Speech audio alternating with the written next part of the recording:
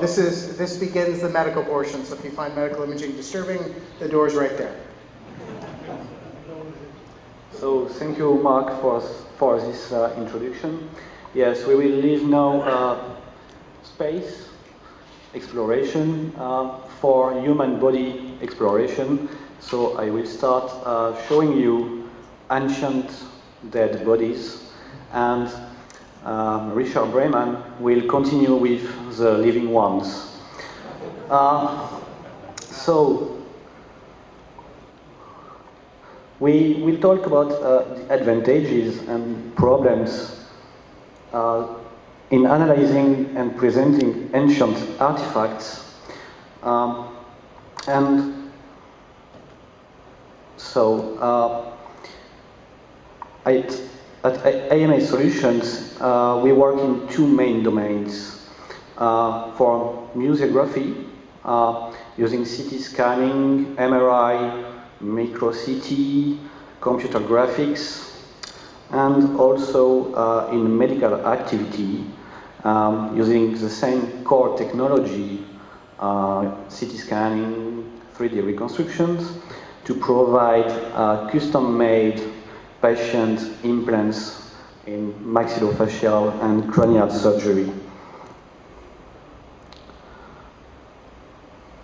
So uh, let's have a look at uh, the core technology uh, called volumetric visualization or voxel visualization. So here you are the artifact placed on the table of uh, the CT scanner and what you can see is the X-ray tube uh, and on the right, the DICOM slices, uh, which are a kind of stack of gray level images. So that's the starting point of studying uh, ancient artifacts. So each slice is composed of a, what we call a voxel grid. Um, and the goal is to stack them together to get at the end a kind of X, Y, Z volumetric voxel grid which represents the object in its entire volume. Um, so, after that, what can be the advantages of using stereo? You know, we are working on kind of dead bodies with many intricate and mixed structures and complex shapes. And that might be difficult to identify region of interest, extracting, extracting this information um, to have a better overview and uh, interpretation. So, hopefully for us, the stereo can add this kind of third dimension that can help you analyzing your data sets.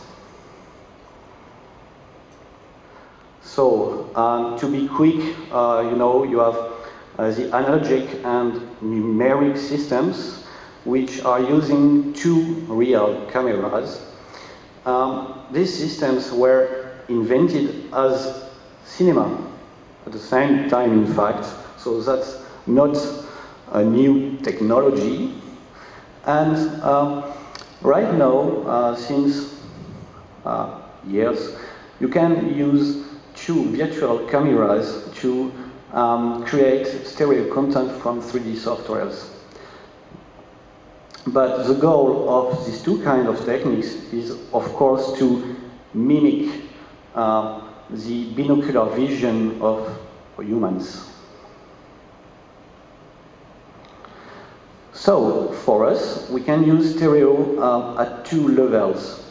Um, the first one is for analyzing CT scan datasets, so we get a better spatial representation, so that it's more easy for us, easier for us to segment complex shapes and if you use also kind of, um, you know, haptic devices, force feedback haptic devices with stereoscopy, you are not far from being able to say, okay, I'm working on a kind of virtual dissection system or virtual autopsy system. Um, so that's the good point. The bad ones is that uh, you have to really take care about fine-tuning stereo parameters to do not get ghosting effects. And of course, rendering times are twice slower because you have, you have two eyes to render, the left and the right. So um, that's twice slower to render. So uh, for exhibition, we can also use, of course, uh, 3D stereoscopy as that's what we are doing. And of course, you will have a better spatial representation of complex shapes and anatomy um, to create some immersive exhibitions. And in general, kids really love this kind of events. So that's a good way to, um, for museums to make people coming. The bad ones, the bad, uh, the challenges is that uh, you have to fine-tune parameters using a really great kind of hardware. Um, around that, it depends of uh, articles, but around 15% uh, uh, of population is stereo blind, you know, uh, because of binocular vision defects. So uh, you have to take care about that. And also you have to take into account when you, when you are working for museums uh, to be realist, uh, looking at the cost of the equipment and the space also. So what will you see now? Not this blockbuster one, but a two real mummy. Um, that's a project we worked uh, on um, in Atlas 208 for a French museum uh, of archaeology. And uh, we analyzed and provided uh, an immersive exhibition for this museum. Um, on your left, you can see the Ceramon mummy, which was a priest uh, at the temple of Karnak in the Theban city in Egypt. Uh, that's um, 1000 BC mummy. Um, and on your right, that's a mummy called Ankh-Pakered, which was a drawer at the same Karnak temple, but three centuries after Ceramon, so it was 700 BC uh, mummy. These images show them as they are exhibited at the museum. So when visitors uh, came into this museum, what they saw is just two mummies in their wrappings and bandages, no more. So I will give you some information about what you will see in the upcoming movie uh, because it's a pure aesthetic one. Uh, we do not put in any commentaries on it, just a kind of original soundtrack.